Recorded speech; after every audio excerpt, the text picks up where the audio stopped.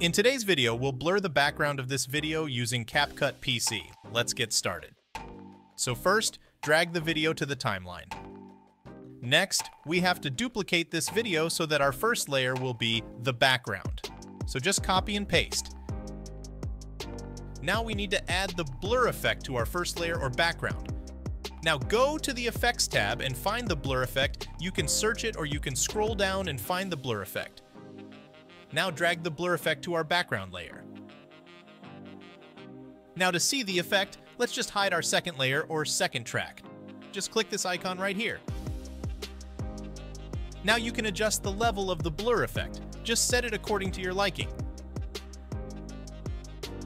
Next, let's unhide our second track. Then select that video and go to the Cutout tab. Now scroll down and you will find this section, Auto Cutout, with a note, only human figures can be cut out. Now check the Auto Cutout, and let's wait for CapCut to finish the process. Now if you want to adjust the level of blur in the background, you can edit it by selecting the background layer, and go to the Basic tab, and go to the Effects section, and click this Edit icon.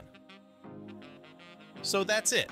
That's how to blur the background in CapCut PC.